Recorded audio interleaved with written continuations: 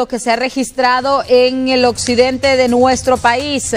Santiago López Este nos detalla que silbador lanzado por un jovencito en la calle ha provocado un incendio estructural en una bodega de venta de producto agropecuario en Este Copán Ruinas. Y a esta hora de la mañana, elementos del cuerpo de bomberos de la estación local se encuentran atendiendo el incendio en la pequeña bodega de productos agropecuarios Este es en la colonia Sinaí de la ciudad turística.